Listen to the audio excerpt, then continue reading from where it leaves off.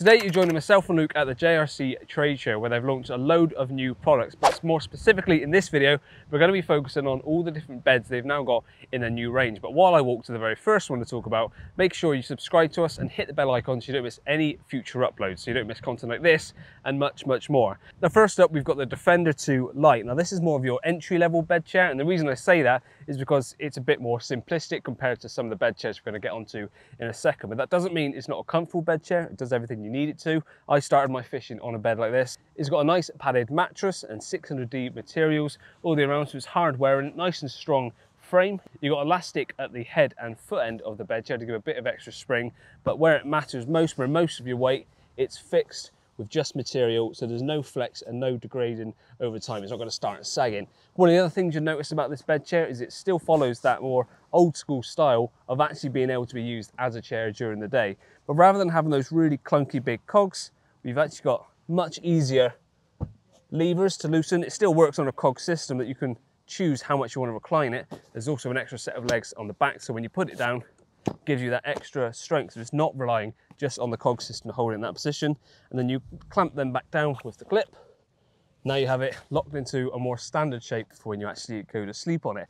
As you see, this isn't a complete system, it's just a bed chair on its own. You can add any of the JRC sleeping bags to that, or if you already have a sleeping bag, which is universal fitment, it should go straight onto this. So that is the Defender 2 Lite. If we then move on to these two, these are the Defender 2 flatbeds. Now, as the name suggests, it lies nice and flat. You've got three sets of legs, which makes it nice and sturdy all the way around. So whether you're sitting slightly off center, it's not going to rock over, but it doesn't have the feature that the Lite version has, which is that it doesn't lock into position. So if that's something you don't use, then there's no need to have it, then maybe go for the Defender flatbed. Same when it comes to the padding, nice and padded all the way around, and all around on the outside as well. You've got the 600D material, so it's nice and hard wearing. And this bed is available in both the standard, which is this one I've got straight in front of me, and the wide. If I just lift up the standard and put it on top of the wide, and ask Luke to come in closely, you'll see the difference in width between the two. So if you like that little bit of extra, I'd say, I think it's around the 12 centimeter mark. We'll flash it up on screen. That's the difference in width. I think there's also a few centimeters when it comes to the actual length of it as well. But for most people, the standard will probably be enough. If you don't want it just as a bed and put a sleeping bag on it, you can go for the flatbed sleep system. This is the Defender 2 sleep system flatbed version and it just comes as a complete system. So on top, as you can see, the material here is that kind of fairly shiny polyester, so it should be rain resistant. Obviously you don't want to be out in a storm all night long in this, but if you do get caught short and a little shower and you're sleeping under the stars, this will have you covered. And this is zipped to the frame.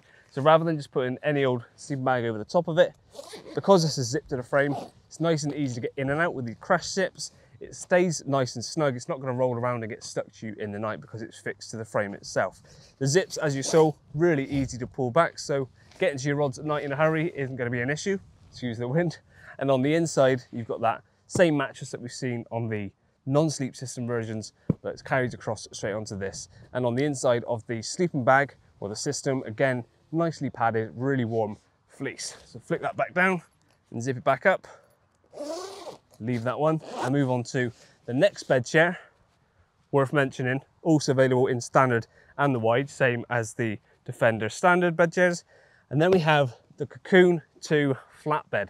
This is an absolute monster. I believe this is actually the wider of the two, so this is available as a large or a standard. The large is an absolute monster. At 23 kilos, it certainly isn't the lightest of the ones in the range, but with that, you get all the comfort and bells and whistles you'd expect from a bed of this caliber.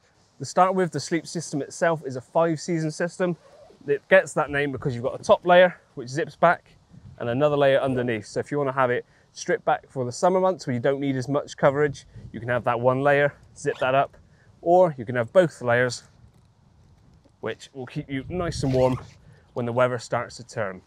That is also zipped straight onto the frame, so unlike a sleeping bag which could move around and get loose, it won't because it's fixed to the frame it's easy to move around in there. On the inside, we've got that fleece that we've seen on the previous sleep systems, but on the inside layer, it's not so much the fleece, it's more of a, a brushed polyester type feeling to it, so it should be much easier to move around on the inside of this bed chair without getting caught up. We zip these all the way back. We'll then see that the mattress is fully removable to start with. So if you want to remove that for cleaning purposes, you can, but look at the thickness of that. It's probably a good couple of inches of foam, so it's super comfortable, and that slots down on the middle bit there. Extremely padded all the way around the outside, so that mattress thickness continues around the edges, head, and foot end. And then if we have a look on the underside of the bed, bear with me, it's quite a bed, bed to stretch over. As you can see, we've got elasticated on the inside here, but that's fully adjustable. So if you want to tighten that up over time, if you want a slightly firmer mattress, or if it starts to sag, which elastic will do on all bed chairs, you can tighten that up at a later date. And that's elasticated all the way around, but it is notably double thickness material around the lumbar area, giving you that extra support. Leg wise, I think you've got enough on here. You've got eight, which are spring loaded, and look at how much adjustability are in these legs. Putting that down that's a pretty high bed chair. So if you're someone that likes all the comfort of your bed at home, but want to take that fishing with you, particularly for longer stays, because I don't think you're going to be carrying around a 23 kilo bed chair for a quick overnighter, this is definitely the bed to go for. So there you go, a whistle stop tour of all the beds coming from JRC on this launch.